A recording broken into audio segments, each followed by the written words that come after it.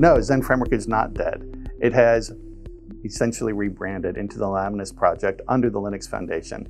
The code is available today. All of the versions uh, from 2.0 forward of the Zend Framework project, so your Zend Framework MVC applications, all of those versions are available to you today under the Laminas project. The same goes for all of Apigility and all of Expressive. Those are now available as Laminas API tools in Mezzio, and you can migrate any version of those today and have them production ready. A lot of people were postulating that Zend Framework was dead the last couple of years, which is uh, completely not true. Uh, in fact, it's quite the opposite.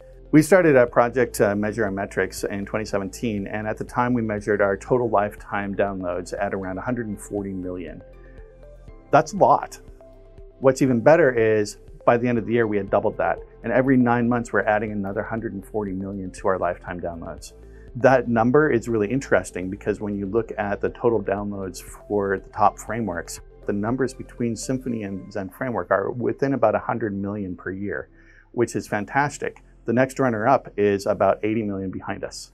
And so as a result, you can see we have a lot of popularity. A lot of people are using it. They're just not talking about it necessarily.